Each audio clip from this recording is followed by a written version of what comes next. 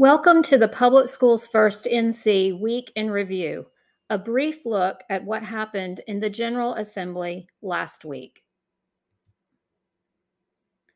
Bill highlights. Two bills we discussed in our most recent Week in Reviews are House Bill 755 and House Bill 149. Neither of these bills have advanced and seem to be stuck in the North Carolina House. We continue to monitor both of these bills closely. Two other bills we're highlighting this week are Senate Bill 671 and House Bill 1173. Let's examine each of these more closely. Senate Bill 671, Virtual Education, Remote Academies, Virtual Charters, this bill transitions North Carolina's two virtual charter schools from pilot status to active status without going through a process of reviewing the results of their pilot years. The bill passed through the House with little discussion. Under this bill, the two virtual charters will be allowed to increase enrollment by 20% each year based on their 2021 22 enrollment for the next five years, when their charter may be renewed for 10 more years.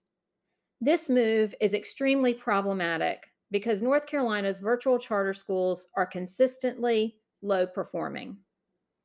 Because similar virtual charter schools had been had seen poor outcomes in other states, North Carolina did not want to grant full charter status until the schools had proven themselves. They have not. In the years for which there is performance data, neither school has received above a D performance grade or higher than 55 in growth. The North Carolina Cyber Academy earned the lowest possible growth score of 50 all four years, as shown on this chart. When Senate Bill 671 went to the Senate for a vote last week, members found too many differences between their original version, which related to North Carolina's school voucher program, and this most recent House version of the bill. In a 0 to 42 vote, senators sent the bill to a conference committee to iron out the differences. This delay provides an opportunity for North Carolina citizens to reach out to committee members to voice their opinion on the various elements of the bill and what to keep or remove. We'll say more about this in a moment. School districts across North Carolina were highly criticized by state lawmakers during the pandemic. There were repeated legislative efforts to encourage districts to return to in class instruction. Therefore, it is puzzling that these same lawmakers are now promoting a bill that paves the way for even more virtual education provided by two virtual charters with nothing but abysmal outcomes for students.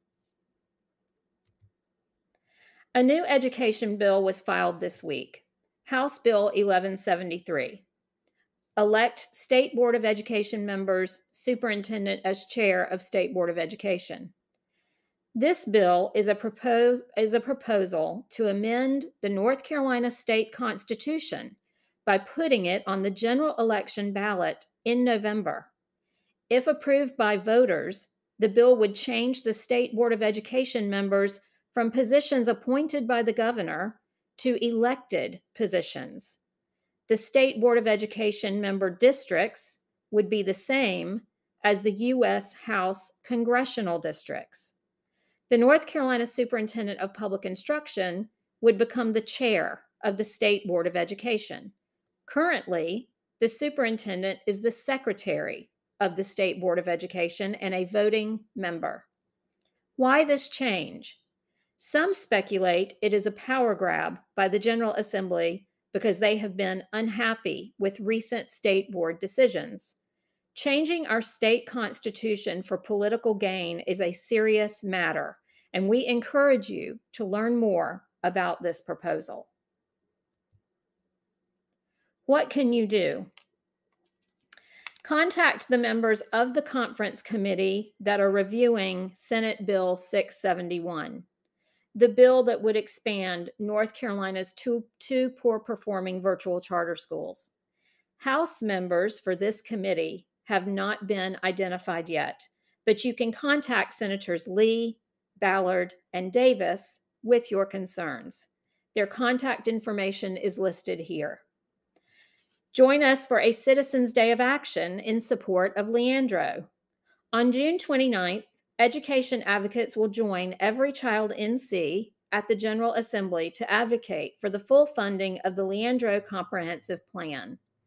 The day will start with a press conference, followed by visits to lawmaker offices, and end with a partner luncheon at Chavis Park.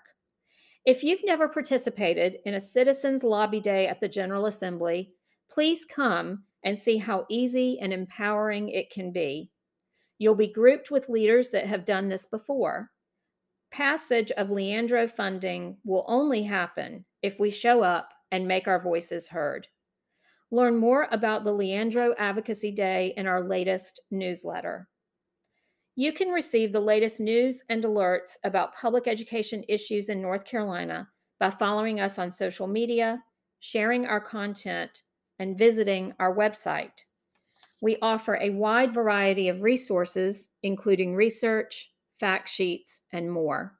There, you can also sign up to receive our weekly email newsletter with all the highlights from the General Assembly and other timely news related to public education. Thank you, and please share this video.